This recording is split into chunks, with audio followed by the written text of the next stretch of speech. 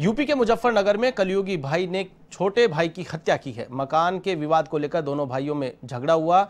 एक भाई ने सोते हुए दूसरे भाई पर कुल्हाड़ी से वार कर गर्दन काटकर उसकी हत्या कर दी है। पुलिस ने शव को कब्जे में लेकर पोस्टमार्टम करवाया है।